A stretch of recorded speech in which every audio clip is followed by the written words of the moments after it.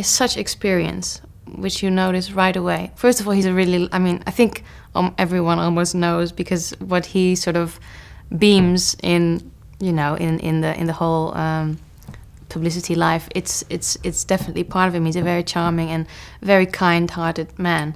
But um, apart from that, and his jokes, you know, endless jokes, and he's very funny.